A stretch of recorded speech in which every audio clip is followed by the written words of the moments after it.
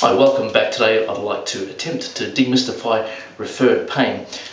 Referred pain is a scenario where pain is experienced in an area which is distant to the cause of that pain. And the reason that it happens is because the two sites are served by the same nerve and the brain receives a bit of a confused signal. So it perceives that the pain is actually coming from an area further out in that receptive field of the nerve.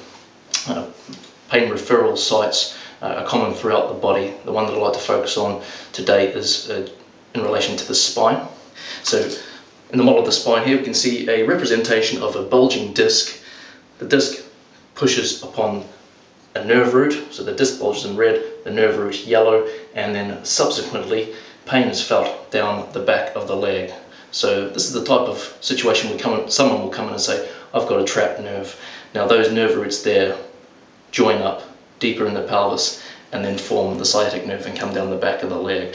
So if the disc is bulging and it's putting pressure on the nerve, there will be referred pain. If it's severe pressure, then there will tend to be nerve symptoms which are pins and needles and numbness, or in a severe case, uh, loss of muscle power.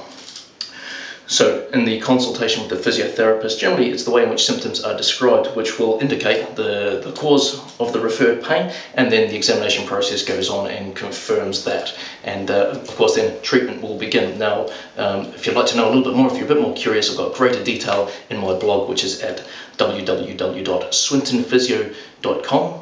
Go there and read it now, it's awesome.